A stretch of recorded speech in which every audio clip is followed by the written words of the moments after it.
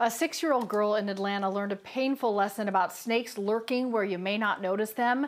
Nearly 8,000 people in Georgia are treated every year for poisonous snake bites. Brooklyn's mom, Sonia, never expected her daughter to be on that list.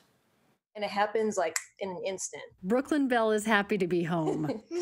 she has quite an adventure to tell her friends about. Can you tell me what happened? I was walking with my dog and my sister and mommy, and then Sophie saw the snake before me, and then I stepped on it, and then it bit me.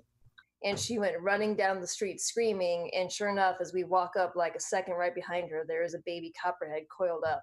Her new puppy Scarlet tried to protect her, but it had already happened. It, it did, it bit her right in the, her left foot on the outside. She was wearing flip flops. To know that a baby copperhead mm-hmm. did that much damage. The swelling had gone from just a little puncture wound. Her foot was purple and it was slowly traveling up her leg. Brooklyn's two days at Children's Healthcare of Atlanta was just the beginning of a long recovery. Recuperating for the next about four weeks is about what it took. We've never actually seen a copperhead around our house or in our neighborhood or anything, so never thought too much about it. Did not realize just really how easy it is to be bitten. What are you going to wear when we go on mm-hmm. walks with the puppy now? Tennis shoes. Tennis shoes. no more flip flops, which leads us to tip number one wear closed toe shoes on walks and hikes and avoid tall weeds and brush.